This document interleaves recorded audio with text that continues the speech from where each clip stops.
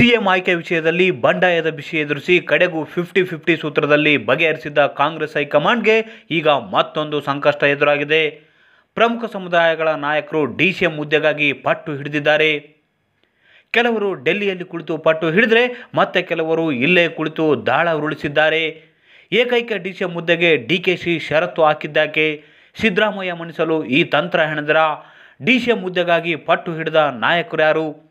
ಈ ಕುರಿತು ಮತ್ತಷ್ಟು ಮಾಹಿತಿ ನೀಡ್ತೀವಿ ಅದಕ್ಕೂ ಮುನ್ನ ನಮ್ಮ ಚಾನಲ್ ಸಬ್ಸ್ಕ್ರೈಬ್ ಮಾಡಿ, ವಿಡಿಯೋ ಶೇರ್ ಮಾಡಿ, ಲೈಕ್ ಮಾಡಿ, ಕಮೆಂಟ್ ಮಾಡಿ.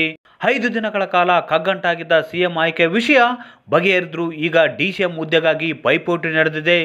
ಸಿದ್ದು ಮಣಿಸಲು ಸಿ, ಏಕೈಕ ಡಿಸಿಎಂ ಹುದ್ದೆಗೆ ಪಟ್ಟು ಹಿಡಿದು ಪಡೆಯುವಲ್ಲಿ ಯಶಸ್ವಿಯಾಗಿದ್ದಾರೆ. ಆದರೆ ಡಿಕೆಶಿಯ ಈ ನಿಲುವೆ ಈಗ ಕಾಂಗ್ರೆಸ್ಗೆ ಮುಳುವಾಗುವ ಎಲ್ಲ ಲಕ್ಷಣಗಳು ಗೋಚರವಾಗತೊಡಗಿವೆ. ಡಿಸಿಎಂ ಮುದ್ದೆಗಾಗಿ ರಾಜ್ಯ ಕಾಂಗ್ರೆಸ್ನಲ್ಲಿ ಪೈಪೋಟಿ ಏರ್ಪಟ್ಟಿದೆ. ಪಕ್ಷದ ಹಿರಿಯ ನಾಯಕ ಹಾಗೂ ದಲಿತ ಸಮುದಾಯದ ನಾಯಕ ಜಿ ಪರಮೇಶ್ವರ್ ಡಿಸಿಎಂ ಮುದ್ದೆಗಾಗಿ ಭಿನ್ನರಾಗ ತೆಗೆದಿದ್ದಾರೆ.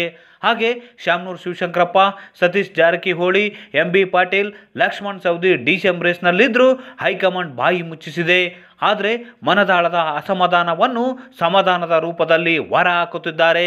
ಡಿಸಿಎಂಗಾಗಿ ಕೆಲವರು ಡೆಲ್ಲಿಯಲ್ಲಿ ಬೀಡು ಬಿಟ್ಟಿದ್ರು ಮತ್ತೆ ಕೆಲವರು ಇಲ್ಲಿಂದಲೇ ಲಾಭ, ಮತ್ತೆ ಕೆಲವರು ಇಲ್ಲಿಂದಲೇ ಲಾಬಿ ನಡೆಸತೊಡಗಿದ್ದಾರೆ.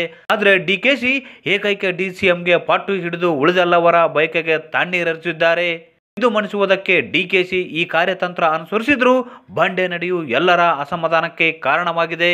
ಇನ್ನು ಕೆಲವರು ಎಐಸಿಸಿ ಅಧ್ಯಕ್ಷ ಮಲ್ಲಿಕಾರ್ಜುನ್ ಖರ್ಗೆ ಬೆನ್ನು ಬಿದ್ದು ಡಿಸಿಎಂಗಾಗಿ ಲಾಬಿ ಮಾಡತೊಡಗಿದ್ದಾರೆ. ಒಟ್ಟಾರೆ ಕಾಂಗ್ರೆಸ್ನಲ್ಲಿ ಈಗ ಡಿಸಿಎಂ ವಿಷಯ ತಲೆನೋವು ತಂದಿದೆ.